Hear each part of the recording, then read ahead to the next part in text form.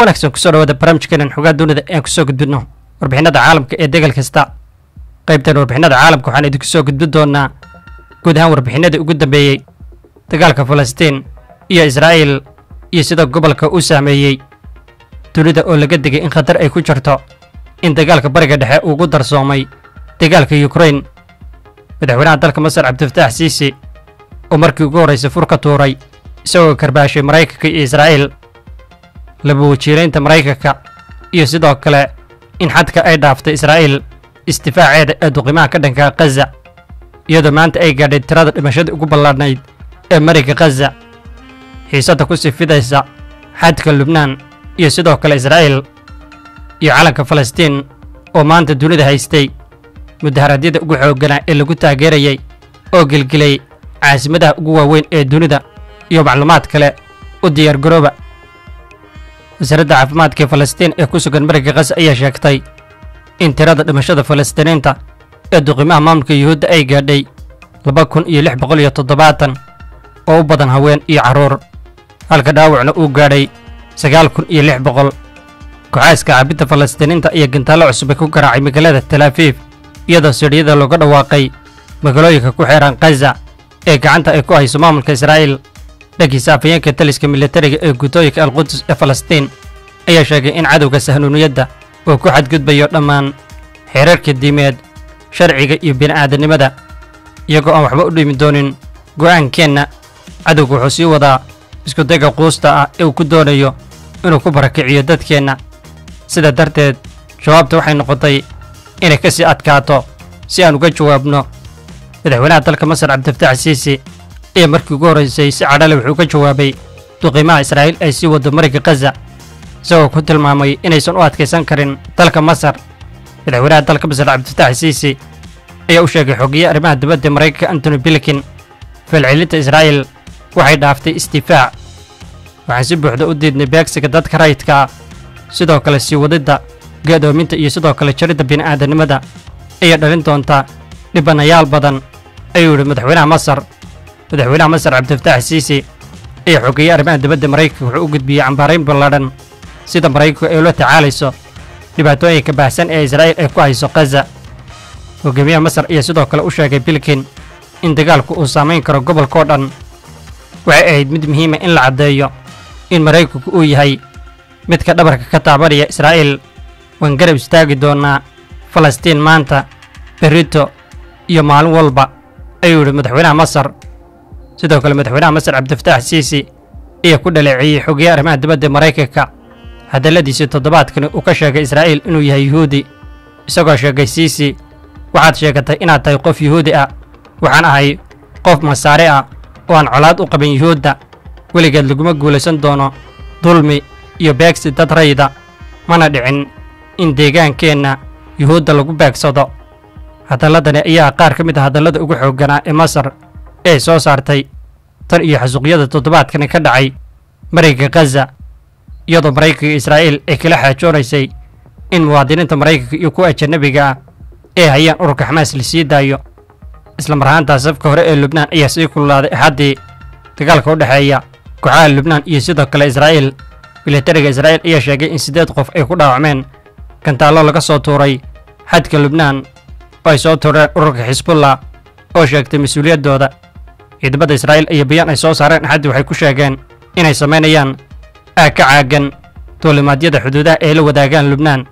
Afyaga ciidamada israa'iil ayaa sheegay in ururka xisbullah ee lubnaan uu ku sii fidayo xuduudaha waqooyiga ee iiraan ay maamusho. Islamarkaasna lubnaan ay u soo bandhigayso khatar aad u daran. Israa'iil siduu hadalka u dhigay. Afhayaga ciidamada israa'iil ayaa sidoo kale sheegay in israa'iil ay diyaar u tahay inay la dagaalamaan dagaal laba weji iyo ka badan wasiirka maaliyadda ee israa'iil ayaa sheegay in hogaamiyaasha israa'iil iyo hay'adaha amnigu ay ku guuldaraysteen inay ilaaliyaan muwaadiniintooda wuxuuna raaciyey waynaan qiranno xanuunka iyo sidoo kale inaan guuldarraysannay wasiirka arrimaha dibadda faransiiska ayaa sheegtay in dhimashada ee muwaadiniinteeda ay gaadhay sagaal iyo toban qof oo u dhashay faransiiska. Weeraradii xamaas ay ku qaaday israa'iil. Boqosho ay ku tagtay talaafiif ayay sheegtay wasiirka arrimaha dibadda faransiiska in saddex iyo toban kale aan weli la ogeyn noloshooda iyo geeridooda oo u dhashay faransiiska iyadoo warbaahintu ay tebisay in tirada ugu badan ee mutadawiciinta ee caawinaya israa'iil ay yihiin muwaadiniin u dhashay faransiiska. Mudaharadayaasha dunidao dhan laga soo bilaabo washington london ilaa iyo istanbul kumanaan kun ayaa isugu soo baxay isbuucani si ay uga soo horjeestaan gumaadka naxariis darrada ah ee maamulka israa'iil uu ku hayo falastiiniinta khaza mudaharaadka ugu ballaadhan kumanaan qof ayaa isugu soo baxay oo taageeraya falastiin magaalada istanbul ee turkiga. Kadib markii israa'iil ay xoojisay duqiimaheeda ay ku hayso bariga khaza iyo digniinta ku saabsan weerar dhulka oo ay doonayso inay ku gasho khaza waxay dadka ka caydhinayaan guryahooda muddo sannada ah. Hadda waxay dilayaan dadka maalin kasta si wadareeda ayuu yidhi mid ka mid ah dadka mudaharaadyaddan ka qayb galay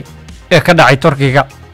Tan waa waxa israa'iil ay samaynayso waana ka mudaharaadaynaa ayuu intaa ku daray. Mid ka mid a soobaxayaasha ee ka dhacay dalka turkiga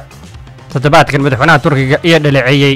xasuuqa aan loo meeldayn ee lagu hayo dadka aan waxba galabsan ee khaza isagoo caddeeyey in israa'iil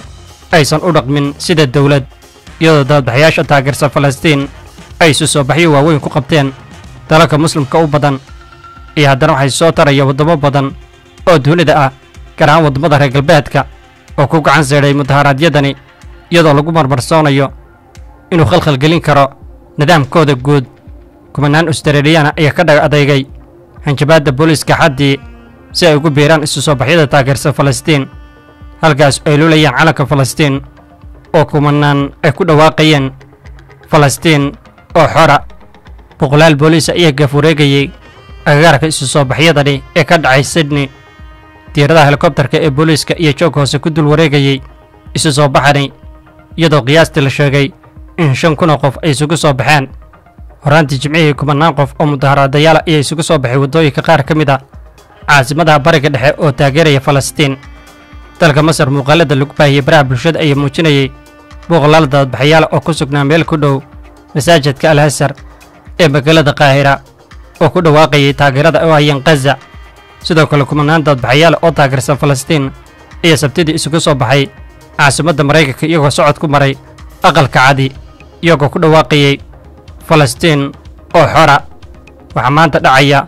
waa waxaysan mugdi ku jirin inay tahay wax laga xumaado. Waxaannu daawanaynaa dadka ay dilayaan ciidamada ee dalkan uu taageerayo ay ku dhawaaqayeen banaanbaxayaasha ka dhacay dalka maraykanka kumanaan mudaharaadayaal ayaa sidoo kale isugu soo baxay bartamaha ee london iyagoo ku qaylinaya falastiin oo xora. Waxaana ay dalbadeen in si deg dega loo joojiyo duqimaha iyo go'doominta maamulka israa'iil uu ku hayo khaza dunida ayaa laga digay khatartii ugu weynayd inay wajahayso iska hormaadka ee dagaalka bariga dhexe oo ugu sii darsoomay dagaalka yukrain dhaqalyahanada iyo istaraatiijiyadda suuqa ayaa saadaalinaya saamaynta sii socota ee dunidoo dhan oo ka imanaya iska hormaadka bariga dhexe iyagoo eegaya in xaaladdu ay soo jiidato waddamada kale dagaalka falastiin iyo israa'iil taas oo kor u qaadaysa qiimaha saliidda. Waxay u eg tahay inaan ku soconno duulaan ballaadhan oo dhulka ah khaza iyo khasaare ballaadhan oo nolosha ah ayuu yidhi xubin sare oo ka tirsan barnaamijka amniga tamarta iyo isbeddelka cimilada ee xarunta istaraatiijiyadda iyo darasaadka caalamiga ah